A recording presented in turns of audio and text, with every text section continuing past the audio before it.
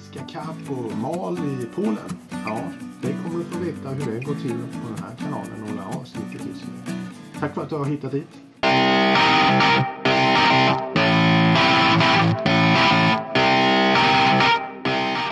Ja, hej och välkommen till ett nytt program här på JBT Fiske. Och idag tänkte jag berätta lite om en ny grej som jag ska göra framöver i slutet av maj. Det är nämligen så att jag ska åka till Polen och fiska. I en stad som heter Jaroslavski om jag uttalar det rätt. Som ni kan se här på kartan så eh, är ju eh, det är ett ställe som ligger cirka en timme från eh, hamnen dit vi kommer med båt från Ystad. Och det är rätt fint ser man ju på satellitbilden här.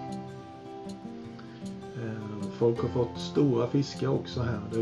Eh, så att eh, vi har väldigt stor chans på att få bra med fisk. Det är ju då karp och eh, mal som vi kommer satsa på. Mete är det som gäller.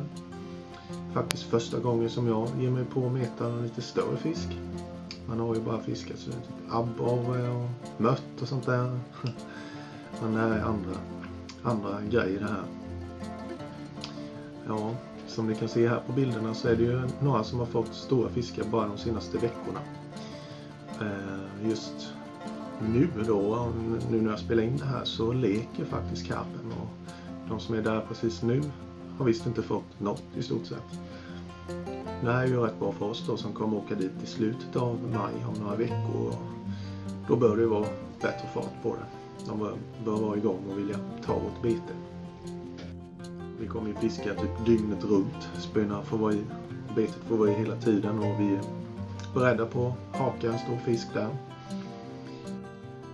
Titta gärna in på kanalen från Magic Mike som är han som jag följer med då. Det är han som håller i det kan man säga. Han har varit där flera gånger innan och fiskat i Polen och stor erfarenhet av de större fiskarna.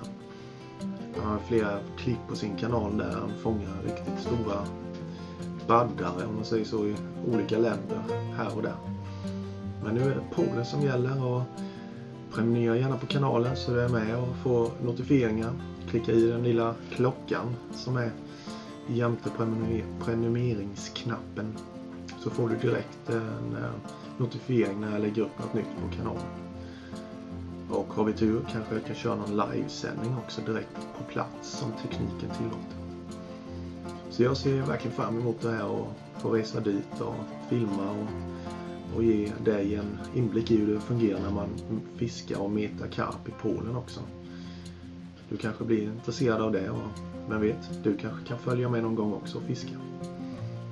Har du några frågor, bara ställ dem i kommentarsfältet nedan så svarar jag eller Mikael på din fråga.